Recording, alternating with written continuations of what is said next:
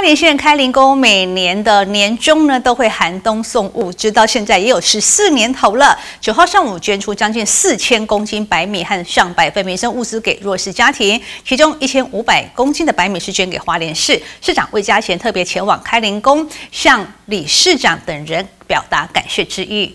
花莲县开林宫年年寒冬送物资的公益善行，至今十四年未曾间断。九日上午，再度捐出近四千斤白米及上百份民生物资给弱势族群，其中一千五百斤白米捐赠给花莲市，由市长魏家贤代为受赠，并致赠感谢状给开林宫善心协会理事长李伟成等人表达感谢。面前所看拢都是五千五百斤啊，啊后手过一个两两千四百斤的，是迄个换算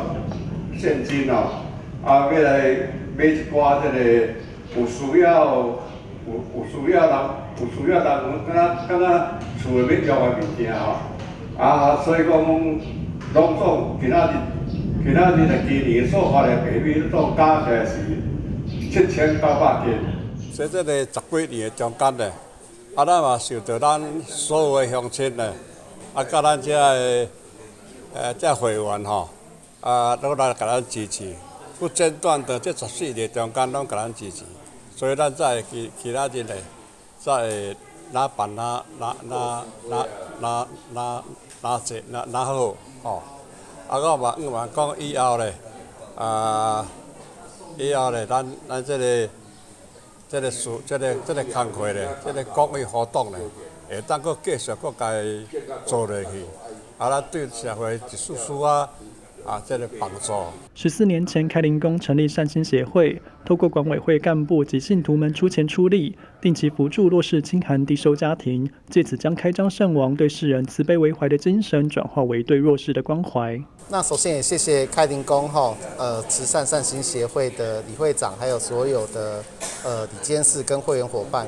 连续十四年不间断的来做我们弱势的一个关怀。那今天哈也。捐赠百米给我们花莲市的一个爱花莲食物银行，那我们希望也将这一些的善心物资，让更多需要帮助的朋友们来领取。那也再次提醒大家，爱花莲食物银行不只是涉及在花莲市的朋友可以领取，这全花莲县或者是你只要需要帮助的朋友到那边填写相关资料，就可以来领取我们的一个物资。那真的谢谢我们所有的朋友们对于。